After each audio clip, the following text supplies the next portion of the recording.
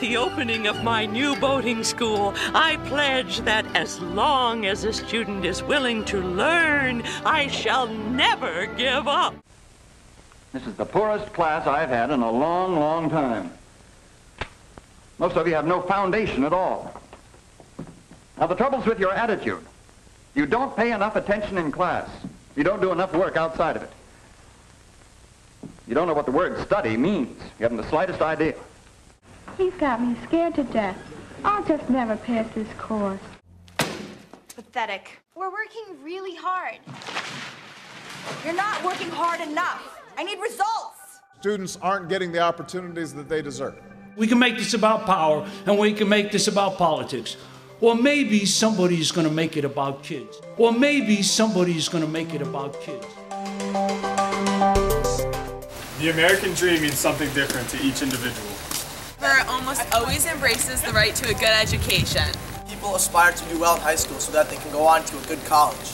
For some people, a good education is only a dream and will not become a reality. We decided to examine whether there is disparity in the educational system in Fairfield County, which is considered one of the wealthiest counties in the country. Throughout our film experience, we have gained insight into the varying meanings and significance of education, but it all depends on your perspective. The fact that a student has the means and ability to go to college doesn't necessarily mean he or she wants to attend. Similarly, there are students that want to go to college but aren't considered college material. Or have minimal means to afford an education. Do you think all kids in Fairfield County are offered the same educational opportunities? Well, no. um, I really don't think all kids are offered the same educational opportunities. I do think um, it's not all equal across Fairfield County. Not all students in the Fairfield County school systems are offered the same educational opportunities. Unfortunately, they're not. The, the level of education of parents um, is, is hugely different. Needs larger cities which aren't able to afford the same uh, per pupil spending as some of the wealthier towns in Fairfield County. Funding plays a part in that and I don't think all schools are funded equally and I don't think they all have the same programs offered. Due to different, you know, financial issues and diversity struggles that districts have, not everyone has the same resources available to their students. Less than a mile away, uh, in Bridgeport, the students are not afforded the same things. They don't have the same, again, the same facility, the uh, broad, uh, the breadth of programs that we that we offer here, and uh, the kids there are dealing with um, issues that many of our kids, not all of them, but many of our kids don't have to face each day.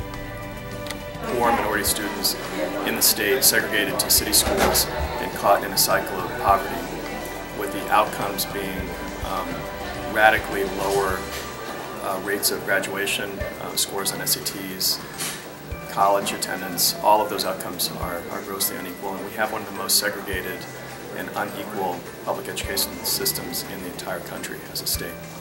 Professional fact. Thank you. Okay. Bye, Mr. Coyne. I think you should get the hat.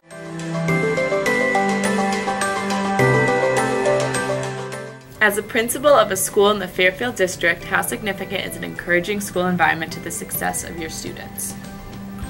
Well, um, the overall environment of the school is um, is critical to the success of the students that go to school there.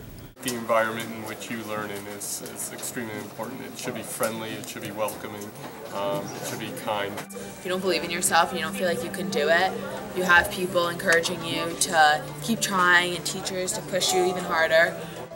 It's unlikely that students will reach their full potential and learn in a place that they don't want to be, in a place where they feel they're not welcome, in a place where they feel that nobody cares about them. If you don't have good teachers, if you don't have um, encouraging parents, then you're not going to be influenced to learn. You're not going to feel like it's important. You need that support in the academic um, atmosphere to really do well and to succeed. When I was in Stratford, I was struck when I was teaching a, uh, class when I said to a girl, you know, you, are a really good writer. You could be, uh, you could do a lot better. You can get, should be, you can get an A if you read right there. She said, nah, I won't bother because I'm only going to go to Southern anyway. Because that's all my parents can afford. After surveying 200 Ward students, we found that 86% considered Ward to be diverse. 84% feel they are encouraged to do well by their teachers, 82% feel they receive a quality education, and 61% feel stereotypes exist at Ward. How do you think we could equalize educational opportunities within Fairfield County? Instead of uh, school systems being defined by the borders of a town, uh, you define them instead by the borders of a region so that uh, you incorporate urban and suburban areas within the same you know, within the same region. Where we have uh, education funds is done badly, town by town by town. So rich towns have lots of money and poor towns don't. I think we should have a county system, or maybe the whole state, because it's such a small state, and it should be shared so that every kid, regardless of where they're born, has the same, at least financial uh, equality. Not necessarily in other opportunities, but at least that part could be yeah. equaled out. The constitutions of many states have specific language promising that every child will have an equal opportunity to receive a good education. The reality in many states is that children in the inner cities do not get the quality education available in the suburbs, which has led to a desegregation lawsuit in Hartford, Connecticut. Which was decided in, in favor of Sheff, the state Supreme Court case. You, you are probably familiar with the Sheff versus O'Neill case. Do you support the choice program? If so, why or why not? Project Choice has been around uh, for uh, for a good many years now, and it's not just here in Fairfield uh, and Bridgeport. It's a it's actually a statewide program that is meant to give uh, students who live in uh, urban areas a chance to attend school in uh, suburban areas. Yes, I support it. Uh, it has its limitations.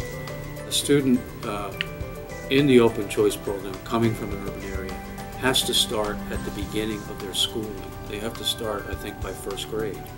What happens, I think, at our level is, you know, we have students who've been in the school system the whole time and they come to our school and that's, that's great. I think our school benefits more, uh, or at least as equal, equally to how the students themselves benefit. What connection, if any, do you see between the strength of athletic programs versus the strength in academic programs within a high school? For instance, do you think the high schools that have strong academic programs have strong athletic programs? If so, what do you attribute that to? Uh, a positive school culture, a positive school experience, that's often a part of being on an athletic team, uh, can also affect the academic environment in the school and vice versa. So when there's a real positive feeling about school in general, uh, it it often shows itself in athletics and academics, in drama and school activities. All those things, you know, kind of come together. What would you say is the best aspect of being a student at Fairfield Ward? There's so many academic opportunities. The welcoming atmosphere. I liked um, having an opportunity to be in the school play this year, and I also liked all the great teachers I had. What courses do you take? English 31. French 51. Italian. I take AP Environmental Science. Do you find school easy or challenging? I find school a mixture of easy and challenging. I think it all depends on the types of classes that you take. I find it very easy. A person who wants to try hard and um, succeed and push yourself, then I would say that you would take the um, more difficult classes, which would make school a little bit more challenging. Challenging. But if you don't like to push yourself and you are more of a laid back kind of person and um, you don't really care and you're kind of lazy, then I would say that um, school is a little bit more easy. Easy. As a soon-to-be graduate of Fairfield Ward High School, what can you say about your learning experience throughout your four years here? I think that it's prepared us like for our college classes and um, taught us like really good study habits and um, learned to have a good time. About myself as a person and academically also. I think my classes have improved, my grades have gotten really good, my grades have improved. I have to say that I've learned by being at Ward to definitely use all the resources um, that are available to me. It's really helped me to advance my thinking to higher levels, to um, communicate well with others, be social, kind of step outside of my box. What tools do you need to build an encouraging or positive atmosphere in a school?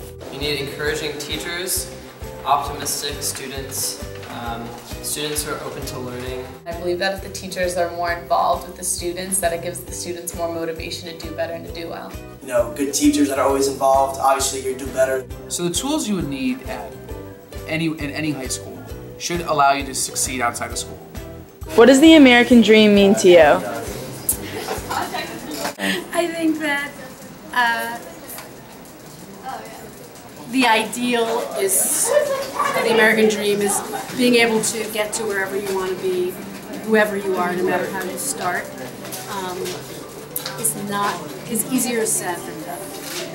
I hope to continue work as an actor and hopefully when I graduate college become a working actor. Well, I want to major in nutrition. I want to be in the business field and finance.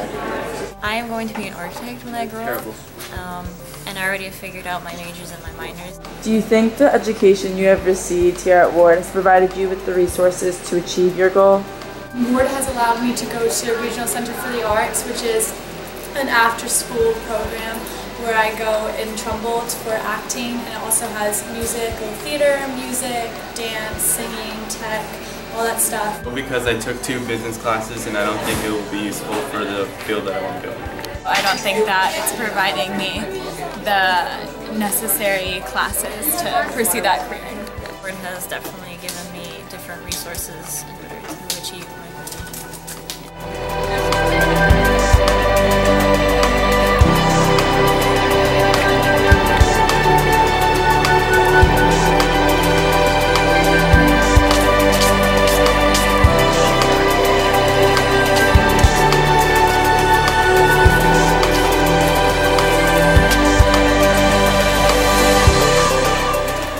All students in Fairfield County are offered the same educational opportunities? No, no, definitely not. Like um, higher class towns probably get like better education, like um, materials for classes. Yeah. Do you think there are stereotypes that exist in your school? Yeah, so I think there are stereotypes at Staples, like Asian people are considered smart, I guess. That's one thing. And I guess kind of like a joke though, how like black people might steal something, but that's really more of a joke. But I mean, I, there definitely are a few stereotypes at Staples. Stereotype just for Westport in general of like being in a bubble, because um, cause it's like we have a lot of privileges that a lot of Fairfield County things like don't have. An encouraging atmosphere is extremely important to students learning. It's imperative that the students feel that they're supported, that they're encouraged, that we take care of their physical well-being, their emotional well-being. I try to do a lot of deep balloon belly breathing to calm them and de-stress them prior to a test. Um, we're big believers in exercise grows brain cells and will increase their creativity and help them with uh, stressful exams. So I let them bring uh, studying guides to class and they can run on the treadmill and they can study with a buddy, do a study buddy and I think it's uh, it goes hand in hand.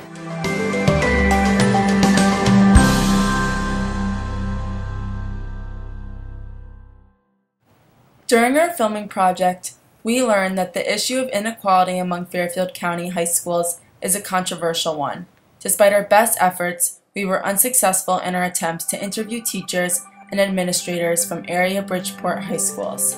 There appears to be a definite reluctance from people working within the Bridgeport public school system to discuss and perhaps criticize the system where they work. In a recent article discussing the inequity between Bridgeport and Greenwich communities, a Bridgeport parent who works as a maintenance worker in Greenwich commented that while children in Greenwich had concerts and the latest in teaching technologies, his children came home from school with stories of recent fights between students. However, our interviews of Bridgeport High School students show us that there is hope. What do you want to be or do after high school, and do you think your high school has prepared you for your interests? Well, I want to be like a video game designer, and no, not yet, because um, I haven't like gotten any classes for that yet. And what do you feel the stereotypes are of your school? I feel like, because uh, my school is an inner city school, that people think, you know, there's bad kids and it's bad education, bad things happen, people, you know, people don't care, but there's, there's actually a lot more people than you would think that care about the school and environment and I didn't think there's too much violence in that Yeah. fights. They think that, and there actually isn't. You're saying? I mean, it just depends on the people you hang out with. Yeah. There's obviously bad people. There's Yeah, bad but people there are bad every school. people everywhere. Do you hear about like other high schools or like stereotypes of other high schools? I heard like What do people What? say about like other places? he said like central. Do you like Central? Good. So oh. yeah, I, I heard like for me, cause you know I have a few white friends also, Yeah. and like this, people in white schools tend to do like a lot more drugs. Yeah. Okay. Like people in central, they just do marijuana, Uh-huh. weed. But people like in white school, white, white schools, out of city schools, like do meth, Yeah, I could see that. crack, and all this stuff. Yeah. You know, Uh, in the city schools, we tend to stick, you know, more natural. Do you feel that you receive a quality education at your high school? at times. Like I feel like because there's like a fluctuation in quality. Like sometimes we you'll have really good class with like really intelligent kids and a really good teacher, but then sometimes you also have a school where the teacher doesn't care and the students don't care. So do you feel like that when it like kind of depends on the your atmosphere almost? Yeah. And do you feel like that a lot of your classes don't have like kids that want to do well, or you I feel mean- like a majority have a lot of like kids that are, try really hard? It depends because like Central, for example, is magnet and regular Central. Magnet kids care. Central kids, the majority don't. So it's like kind of split. Yeah, and I, I take some magnet classes and honor classes and college courses, so I kind of care. All right, what kind of someone- courses do you take? Can you give Yeah. us like an example? Like um, CCP algebra. okay. And like, do you take an English? Yeah, I take honors English. Do you guys have any like electives or? Yeah, we have CCP. Oh, but all CCP courses, I just can't think of them. Yeah. Oh no, that's awesome. Okay, thank you. Thank you. Thank you very much. Have a nice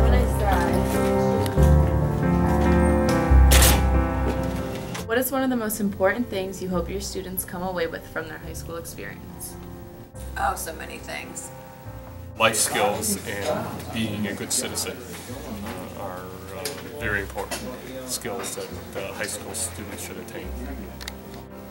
The love for for learning, to keep going with education and challenging themselves, challenging themselves to um, learn as much as they can.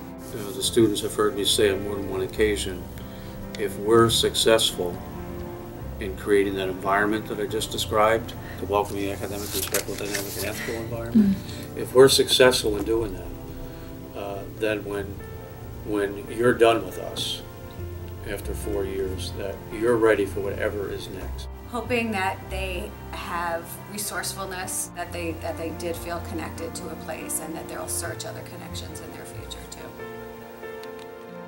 The other part that I want our students to feel when they leave us is that um, that they spent four years in a community that really cared about them, and that they see the value in that human connection between uh, the adults that were in their lives here in school and themselves, and that they'll take a piece of that into the next stage of their.